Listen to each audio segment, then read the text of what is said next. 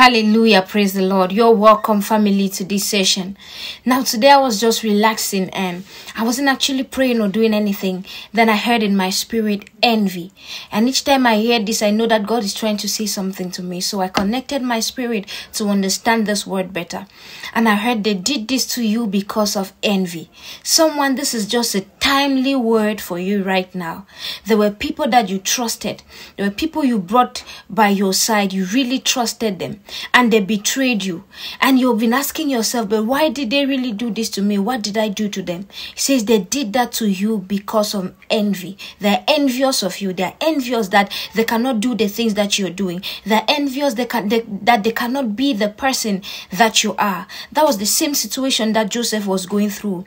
His brothers were envious of him because they could not have the dream. They could not dream like him. And because they could not have the favor from their father like Joseph was receiving receiving. So they were envious of him, but God was there to protect him. I am praying for you in the name of Jesus that God will protect you from that envy.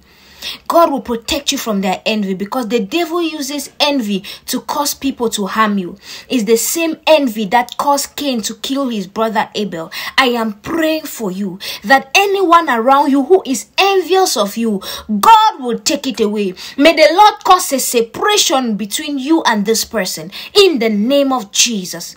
Amen. Father, we thank you for this word. Take the glory and praise in Jesus' mighty name. Now may the Lord bless you. May he keep you. May cause his face to shine upon upon you. May he be gracious to you. May the Lord look kindly on you and grant you his peace. I love you. Shalom.